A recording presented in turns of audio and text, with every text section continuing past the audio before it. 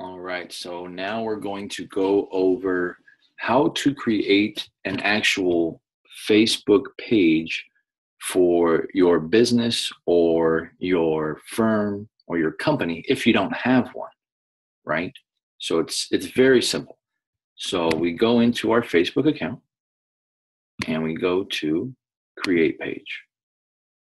From here, for a local business or place, we're going to select that enter in the information accordingly, right? The business name, street address, obviously the city and the state, the zip code, the phone number. And if you choose to get tips through the Facebook Messenger, then you can leave that checked.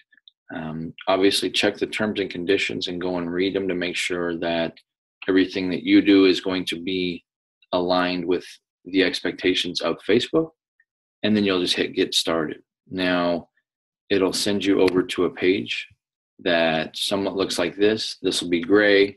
This will be gray where you'll place a photo.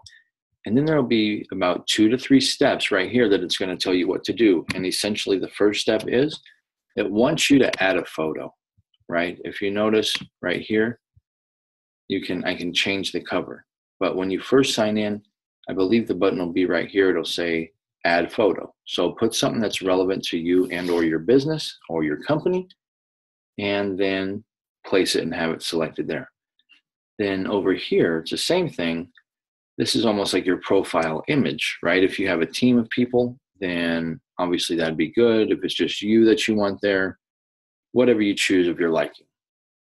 In this section, you'll actually name the page, which will help you to be found on Facebook and also if you choose to do any type of other formal marketing with this URL extension.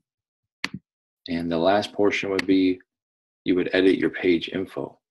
Uh, go ahead and go in there and put what you feel is relevant and describes you. I believe you get 250 something characters, so obviously it can't be too long. But those are the basic things that it asks you to do in addition to one more thing I almost forgot, this button right here, it allows you to do several different things.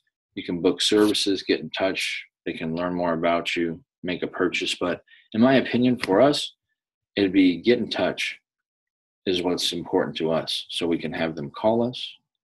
This way they can actually fill out a form on your website.